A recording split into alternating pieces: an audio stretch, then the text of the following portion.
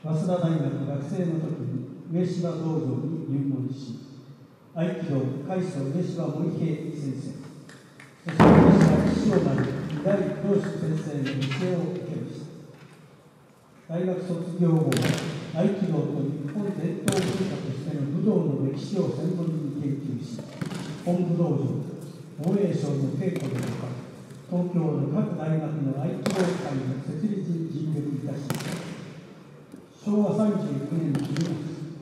ヨーロッパに渡りイタリアスイスを中心に各国で合気道の普及に努めました設立したイタリア合気会は日本伝統文化の会イタリア合気会としてイタリア政府公認の公益財団法人となっております以後56年間日本とヨーロッパを往復し合気道の稽古と発展に寄与されました。このところコロナのために一時中止となっておりますけれどもヨーロッパで大活躍されている多田博師範に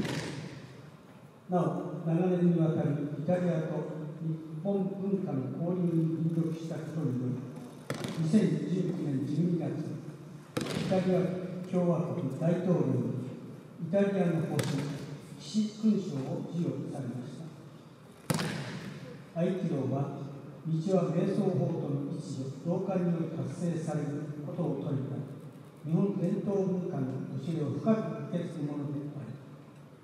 これからの世界で非常に注目されてあるとされるものであると思いますと注文を寄せてくださいました。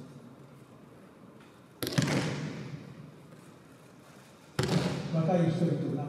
王先生の教えをよく研究し稽古に弾まれることを切に望んで